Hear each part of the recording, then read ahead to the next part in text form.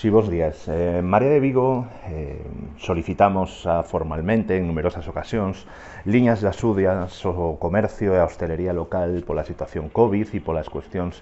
eh, de impacto económico que xa estaban tendo no sector, no sector do comercio, no sector servicios. Dende logo, eh, se hai ahora mesmo unha rúa que precisa desas axudas e ademais cunha liña especial de axudas para sair adiante, dende logo esa é a rúa Olduallen, eh, a Porta do Sol, a contorna da Porta do Sol, eh, nunha afección de obras terrible que están tendo estos comercios, en unha situación en algúns casos que algúns negocios cos que mantivemos contacto de reducción de máis do 60% da facturación,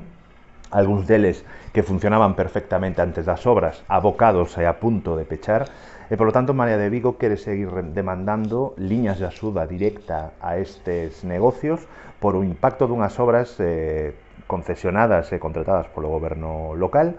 e ademais porque fronte ao que se nos di por parte do goberno local mm, estas actuacións moitas veces se fixeron en outros escenarios. Ao principio das primeiras obras do Plan E aos comercios afectados se lle deu unha liña de axudas, pero ademais desa liña de axudas nos demandamos que haxa exencións como poden ser do liso e da auga durante os meses que duren as obras, obras que ademais están tendo modificatorios importantes que polo menos nos fan temer de que van a ter unha prolongación máis alá dos dous anos que se dixo inicialmente. E ademais mm, pedimos maior vigilancia e maior iluminación de toda a zona ante os roubos e, e os accesos ás balconadas eh, que se están dando, incluso eh, grabados por, en vídeo por diferentes veciños e denunciados recentemente nas, nas redes sociais. Por lo tanto, esas dúas cuestións, en canto a seguridade